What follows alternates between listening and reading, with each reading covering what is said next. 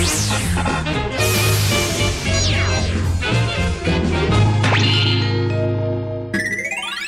好，今天我们依旧呢是要来玩瓷砖，可是我觉得我们今天已经把这个作品的面积无限在放大，已经加到一个呢最大值，让大家可以好好的欣赏一下呢瓷砖画作是怎么成型的。那今天呢，其实它除了我觉得远观呢，我们这样把它架起来，你会觉得说这应该是一个漂亮的画吧？但老实说呢，其实有时候艺术呢，你还是要让它回归生活啦，因为它其实是一个隔热垫。老实说呢，其实像这样你做好的一个隔热垫，你真的是可以放在厨房呢当锅具的垫子做使用哦。所以呢，不只是兼具美观，还有兼具实用性。我们欢迎我们今天手作达人小芳老师。永英早安，大家早安。好，小芳老师刚才就说了，其实这个店呢，真的是放在他的工作室里面做使用的。那今天要教大家呢，你自己买回来一个木头啊，如果你想要让它当做呢不一样的隔热垫使用，你就可以在上面帮它加工一下。那今天老师说又要来玩瓷砖喽，我们要介绍今天材料。好的，今天来介绍呃马赛克拼贴哦。好，那其实我觉得就像永莹说的，我们所有的东西其实应该要生活化。那冬天越来大家都想吃火锅嘛，一定隔热垫的量，因为我们家真的是隔热垫非常多。因为随时都用得上哦。好，那介绍一下今天的素材。那这第一块就是我在五金行买到的一个木板，才八十块，真的很好用。对，我看到就买了，而且它也没上漆，就都处理好。它是有的还有木木木片的那个，像你那一块，它还有木木皮。还有树皮在，我给大家看一下边边，对，很漂亮。真的是呃实木去裁切，才会有像这样的木纹，有没有？我就是真的在一般的五金行买到，所以哎我就觉得很棒。现在我们买东买材料很方便哈。好，那我们用粘着剂是白胶，那一样是用石英马赛克。好，那这是石英马赛克的原型，我等下稍微介绍一下哈。那在填缝的时候，我们会用填缝泥、容器、海绵。那会用免洗块、汤匙。那今天会教大家怎么裁剪马赛克瓷砖，所以会用马赛克剪。那呃抹布，还有一个一桶水。嗯。嗯，好，那我们材料都已经介绍完了，我们接下来请小芳老师开始动手要做瓷砖拼贴。OK，好，那首先呢，我先来讲一下石英马赛克啊，因为大家去，其实你们就是去建材行买，像这个我也是跟电建材行订的，那他们就是一裁，那给大家看一下样子，要一裁就是三十公分见方，它就是上下面有网裁，那我我们要用的时候，你就可以把它扒开，哦，它就是用粘那个薄薄的胶。好，对对对，那因为我有时候进我的量很大，我就就是给我散粒，就不要帮我粘了，因为我还要裁，所以我跟经常拿就是一袋一袋这样子。好好，那这是想说给大家看一下，所以这是买得到的材料，不是买不到啊。好，那它会有色卡，你，可以选你要的颜色。好。好，那今天就是一样介绍这个石英马赛克。那我用的是两种尺寸，好，然后这个是剪过的半成品。那等下跟大家介绍。那首先我们就先用小尺寸的石英马赛克。那我今天大概就是用蓝色系的方式，先帮它包一个围墙哈。好，那用白胶的方式一样，我们就是挤挤一块放着，然后抹布放在旁边，这个把它拿开哈。好，我们放旁边，大拇指就顶着这个边边，好。那贴的时候呢，其实我是觉得不用选色，你就是随机对随机，因为它就是一个色系了，所以你不要隔壁的颜色一样就好了。那我就大拇指顶着，好。那这个缝隙哦，跟平常我们贴正方形不一样哦，因为正方形的缝隙呢，它会是狭长的长方形，可是今天是有点弧度，所以它的缝隙是很细的三角形。你只要掌握这个缝隙的部分，基本上作品就会。大致上是没有什么问题的，然后其实这有一点点不规则型，好，好，我们很快速的把这个边贴起来。哦，所以这个我觉得是小朋友在做的时候啊，你从原本比较四四方方的形状比较好贴，你要开始进阶了，你要进阶到可能是椭圆形不规则的形状，你要开始贴的时候要注意说会势必是会有缝隙出现。对，嘿，但是小朋友怎么拿捏，还有微调这个缝隙，就是一门学问。对，好，您刚刚讲到一个重点哦，好，马赛克的重点哦，其实就是。缝隙的均匀哦，它尤其弧度比较大的时候，你会发现缝隙更大。这个三角形跟这三角形，没错，对，所以有时候小朋友他会。他们的思路会贴成直线哦，对，嗯，有时候是弧度的东西，他会贴成直线，所以这个时候其实要让孩子是我的眼睛看到，我的手要做得到，其实它就是一个手眼协调的一个动作的练习。有时候他不这么确定，可是你就说你就要练习依照这个边缘线来贴。小朋友可能他没有办法，就是微调微调瓷砖，让它有这样的一个弧度，他可能就是真的像老师说的，我就是完全 miss 的，把它密合起来贴成一个直线，好。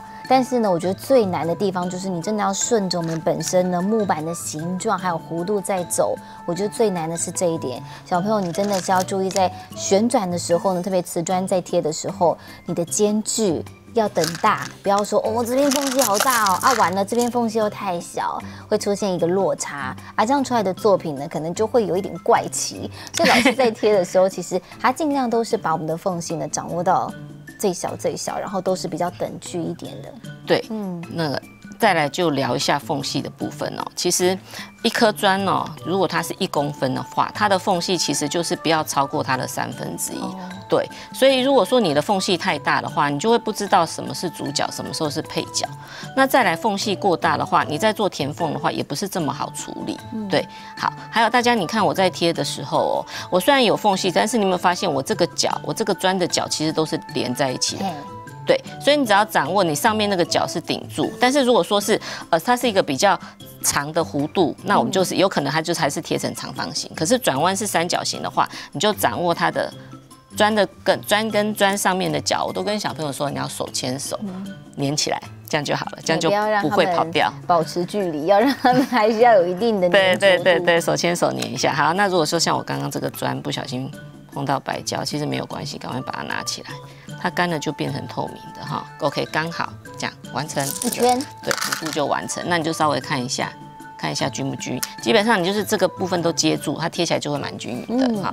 这是第一个部分，好，那再来第二个部分，我是要来设计中央的图案，因为全部都是蓝的，就是觉得啊有一点太太平了，没有什么层次啊，所以我就想说，那我就换另外一个尺寸的，这个是比较大尺寸的的马赛克哈，好，那我就看有什么颜色，那我们就一样就交错好了，那我们摆摆看看它到底是需要多少块摆起来比较和谐哈，好，OK。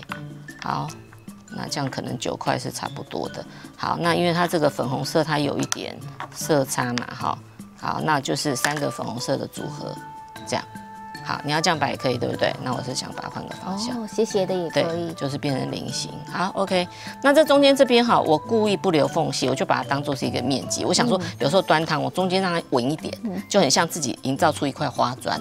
有时候其实马赛克它好玩的是，它有非常非常多的变化。你可以用大片砖，也可以用花砖，也可以用小砖，再搭配剪过的砖，所以它有无限的变化。好，好，那我们就中间这块就完成了哈。那我就把它拿开。那我就把它依序把它贴起来。那大颗的砖的话，相对的你的白胶的量就要多一点。老师说他现在比较喜欢用低饱和度的砖，石英砖他比较喜欢可能颜色比较饱、低饱和，不会那么亮。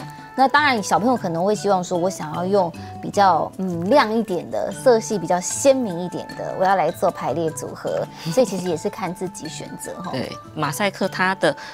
可以用的素材其实是真的是非常的多，对，而且其实现在真的很进步哦，我们的建材啊，就是它变化性也很高，好，它有很多不同的设计。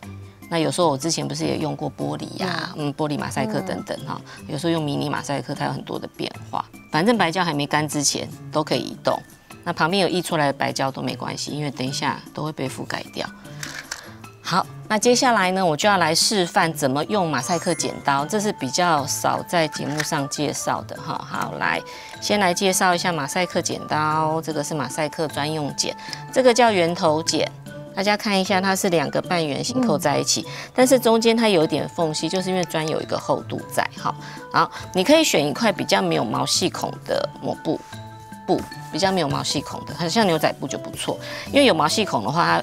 呃，你毛呃专剪掉，它会有一点纤那个屑屑，就是怕卡在纤维里面，所以我那时候就哎，就是去永乐市场买这种很密很密的布，所以这就可以很耐用哈。好。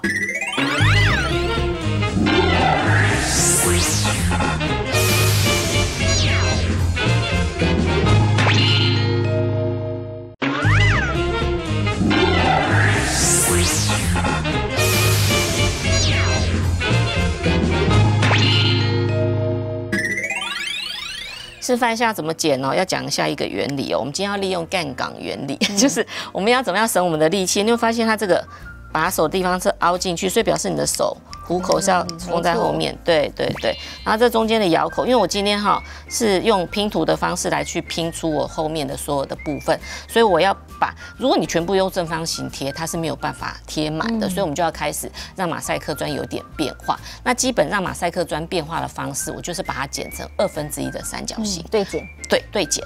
然后你也可以搭配四分之一的三角形，就是有时候有一些转角。嘎嘎角的地方就搭配四分之一，就是有大小的三角形。好，好，那我来示范怎么剪。所以你既然是三角形，所以你就要放在咬口，就是要咬在这个砖的正中间，哈，就握住，哈，好，其实是可以不用盖，但是 介绍正确的，怕乱喷。对，好，就这样剪开，好，这是一个对正方形，这是一个三角形。好，所以老师，你说小朋友最喜欢的是这个其实过程，因因为石英砖真的没有那么硬，其实石英砖。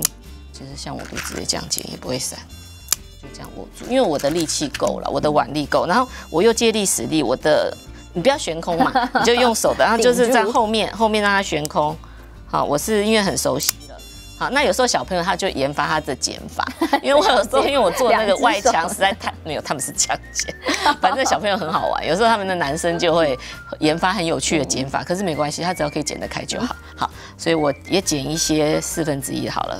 因为有时候转角的地方比较不好用，所以有小颗砖，但是不要再剪更小哦。太小的话，其实也不好拼贴哈。对，因为你剪的更小，其实就会变成砖，会变得非常的琐碎。好，在在贴这个时候要特别注意，有人呢就是好像去符合这个小缝隙去把砖剪得很小，其实不是砖的问题，是不会贴的问题。有时候砖换个方向，会换另外一颗，那个那个就就解决了哈。好，这个我就先放旁边，如果等下需要就可以。搭配着使用好，那接下来我就要来示范一下怎么样贴这种不规则面积的贴法哈。好，那贴这个可能还是要一点时间哈。好，来就这样，你的砖就先先就是先放在一个角度哈。好，好随性哦。诶，它还是有一点逻辑哦。好，你在贴的时候，你就是尽量创造出一个九十度的角度，就是让慢慢把它拼出一个。一个面积出来，好好，比如说像这边是不是就很瘦小？那我就稍微挪一下，因为我这钢贴嘛，就稍微挪一下，你就找一个狭长型的三角形进去。所以贴这个哈，为什么其实对老人小孩很好？其实他在做空间感的练习，还有眼力跟手力，有时候一看，哎，我就知道我这个砖。想要怎么？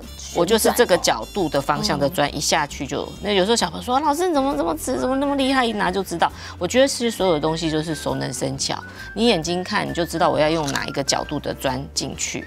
好，比如说这个太大对不对？那我们就换另外一颗，换另外一颗。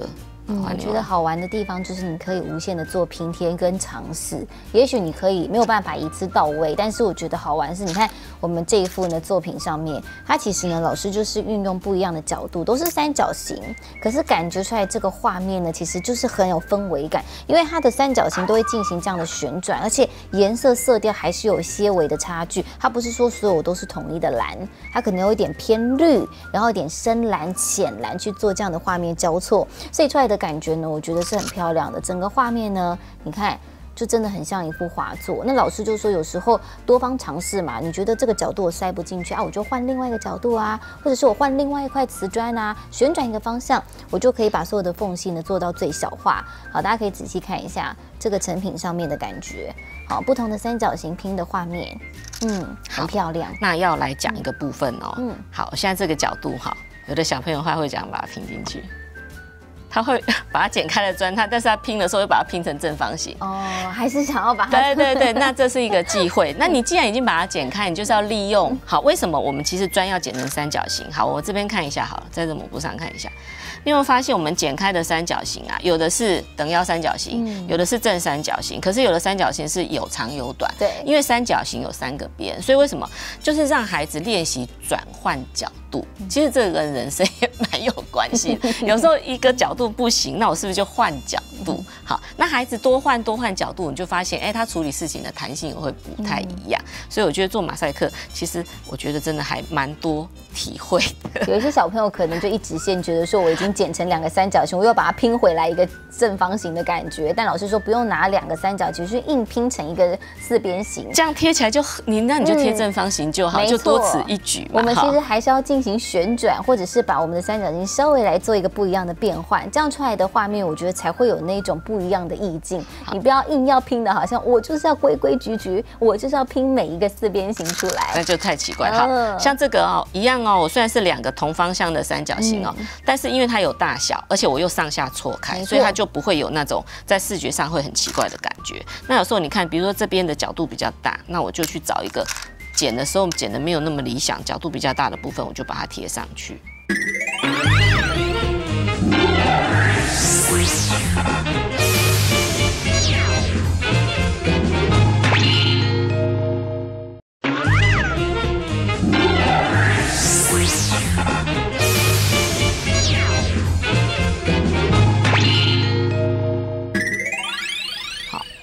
其实这个。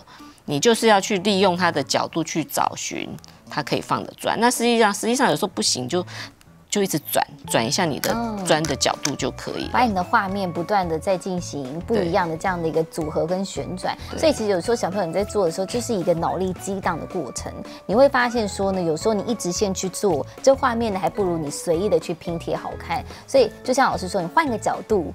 你的画面呢就会出现不一样的氛围，每一个小朋友的作品都不一样，嗯，每一个都是独一无二的。对，那其实呃，我知道很多小朋友喜欢做拼图，它其实是跟做拼图的概念是有一点点像的。嗯，有时候拼图它都是同色系，可能好几百片混在一起，对不对？那你就要去寻找它。其实这个真跟我都跟孩子说，这个有一点点像做拼图的感觉哈。有时候你就这个这块不行，你拼图势必就是要怎么样，你就要换另外一块。那有时候为什么要剪这个小颗的？它是因为真的有时候在转角。小颗是比较刚好的，对。对对，所以就是有大有小，我们去做一点弹性的变化，这样子，好，好，那我们就是依序这个动作呢，把这整个面呢去把它做一个铺满，对，把它完整，好，那因为它等干呢也需要不少时间，因为这面积算蛮大，比较大，然后白胶的量也比较多，所以我觉得至少要阴干个半天到一天的时间。好，接下来填缝，我们来介绍一下填缝的材料。那其实啊，填缝在马赛克的意义是非常重大的哦。那填缝它有两个目的，第一个就是巩固我们的砖，好，以我们的说法就是巩固这个砍片，因为我们粘的时候只有下方粘住，可是填缝它就是把这个砖的周围都把它包覆起来。那第二个目的，它是统合你作品的色调，因为有时候你的。这个缝隙呀，其实它是会干扰你的画面。我们现在这个作品其实感比较感觉不出来。如果我们是在做一个创作啊，一个花朵啊，或者是什么的，你后面的缝隙其实它的颜色会干扰作品。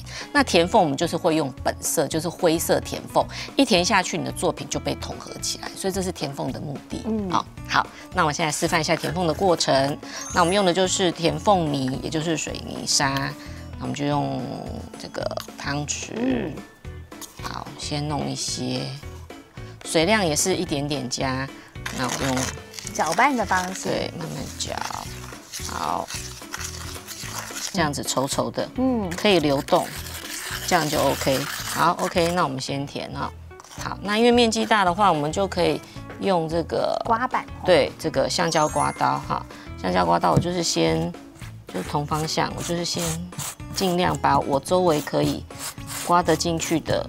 面积就先把它尽量刮，但是因为这个其实这个面积其实说实在还是不是太大，所以橡胶刮刀它还是没有很好用，但是它可以尽量在中间的部分，我慢慢好慢慢把它刮进去。